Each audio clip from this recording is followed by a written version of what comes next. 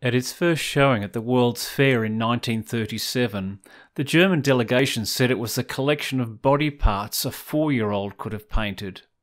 Since then, it's been called the greatest anti war painting ever. Guernica, Pablo Picasso.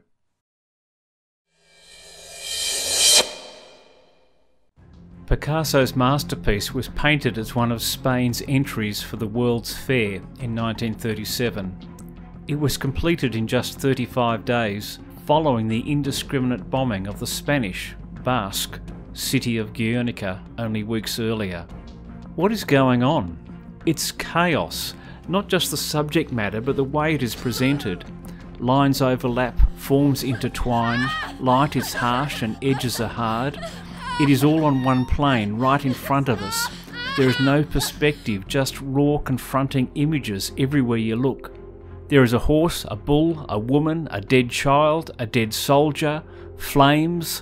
The fur on the animals looks like newsprint. The whole painting is in black and white, like a newsreel of the time. Women peer at the carnage, unbelieving. One cries to the heavens with her dead child in her hands. One lifts her hands, imploring. The horse is in distress, its tongue like a dagger. All the tongues are like daggers. A decapitated figure sprawls across the front, trampled by the horse. His severed arm holds a broken sword, an ineffective defence against the terror that rained from the sky over several hours on an afternoon in 1937. Screams ricochet around the painting, the light filters through smoke. All is chaotic, barely intelligible. There is no resting point for the eyes, no distinction between focal points. The entire painting is the focal point, and it is impossible to grasp it immediately. Like the victims, our own eyes seek meaning, going restlessly from left to right, to up and down, to light and dark, to left and right again. What is going on? What is happening? Finally, we begin to look in sections. On the left third, a bull is the only male alive in the painting. He stares at us with both eyes, fully front on, coldly inviting us to witness the death and destruction. The bull's body is intact and distinct. His horns point to the sky from where the destruction came. A dark, brutal figure, not being moved by any of the action in the painting. This is the brutal regimes of Franco and Hitler joining forces to practice aerial destruction on this Basque village. Why a bull? Picasso has been painting bulls already for years a symbol of Spain and of masculine power. Below the bull, a woman and child. She screams at the sky, imploring heaven. Her child has been killed and nothing can make it right. To the right of the bull is a barely seen dove. It is dark, almost invisible. It lifts its beak to the sky, screaming. On the right third, another woman with her hands raised to the sky. She is in a burning building. She stares wild eyed, upwards. What is happening is unimaginable. Literally, Guernica is the first city to experience an aerial bombing of this magnitude. Bombs weighing up to a thousand pounds and thousands of smaller incendiaries kill and maim and burn and destroy. In the middle of the painting is a pyramid of light. As we look carefully, we see that the light does not start from the electric light bulb.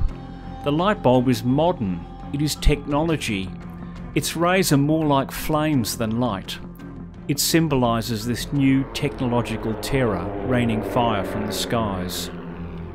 The light's apex is instead the torchlight held by the ethereal woman looking down on the destruction, the witness to the event, the judgment that must surely come, the witness to the lives lost. We will not forget, we will bear witness. We see, as we travel down this pyramid, we see the startled and distressed horse and another unbelieving woman staring at the skies. For the third time, I use the word unimaginable. The looks on all faces are of uncomprehending horror. Finally, we come to the decapitated, dismembered soldier, the broken sword symbolising an ineffective defence against such an unstoppable military machine. And then a small ghost like flower insignificant and lost. Hope?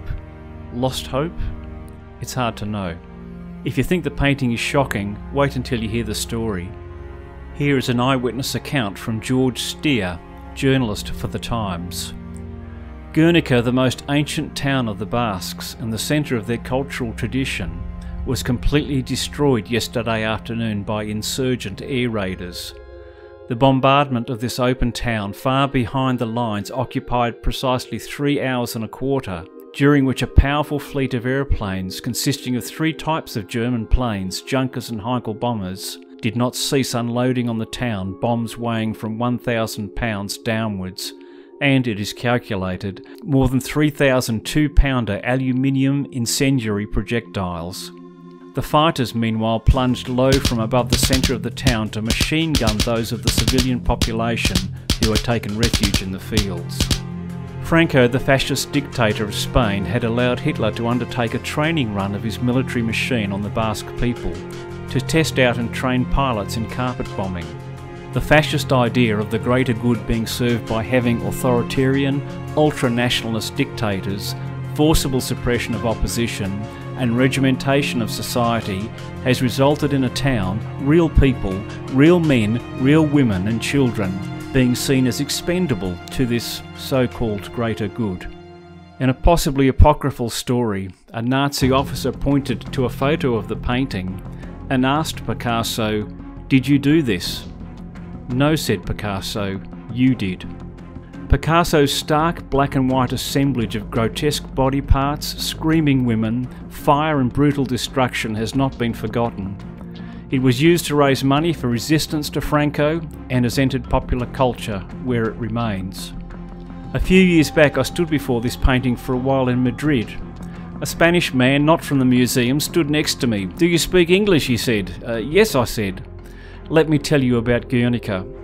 For 20 minutes, his voice betraying emotion, he told me this story from 80 years ago. How the leader of his own country had given Hitler permission to try out some bombing runs on his own people. Not forgotten at all. The event was before World War II. Mass bombings of cities had not yet been seen in the world. Guernica's depiction was harder to grasp when it was painted than afterwards, when swathes of Europe and the United Kingdom experienced terror from the skies only a few years later. Guernica's inferno of destruction and death hurled the world into dark days that Picasso had already captured in a way that is beyond history, beyond newsreels. It is on the ground reality. Women, children, defences crumbling, blitzkrieg, the military machine, the technological marvels that were turned into instruments of death, cold military precision bombing, hard machines and explosives meeting soft flesh and real people. British art critic Jonathan Jones said Picasso knew exactly what he was doing when he painted Guernica. He was trying to show the truth so viscerally and permanently that it could outsteer the daily lies of the age of dictators. We would be foolish to think the age of dictators was somehow only in the past. Picasso has used symbols and images that are beyond full description, which reach out to us at a level separate to an intellectually understood truth.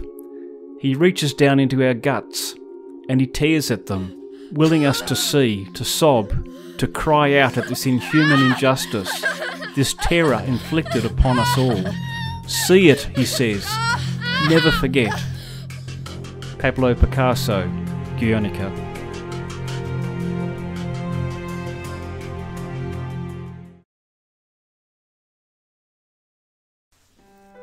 Hi, thanks for watching. If you want reactions to more great art, please like, subscribe, and ring that notifications bell. See you next time.